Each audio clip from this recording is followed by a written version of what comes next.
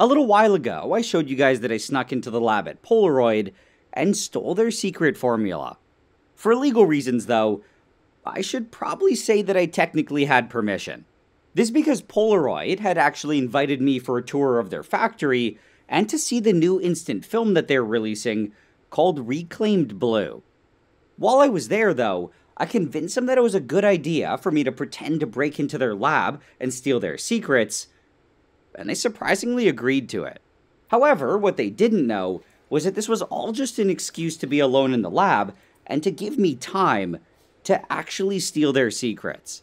I can't specifically say what I found, but I've been wanting to make my own instant film for a while, and now I feel like I actually might be able to. Besides stealing secrets, though, what was also really interesting was the tour that I was actually invited for. We were able to see everything, including all of the machinery and the equipment, that's used for the production of their film.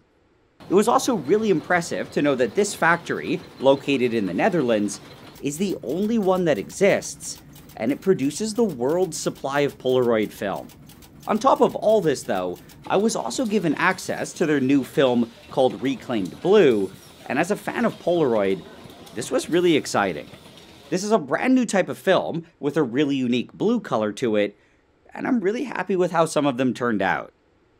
But anyway, in the end, I had successfully committed corporate espionage, and with everything that I learned, I plan to make my own instant film. Polaroid was also genuinely one of the coolest companies that I've ever worked with, and if you're at all into instant photography, you should definitely check out Reclaimed Blue.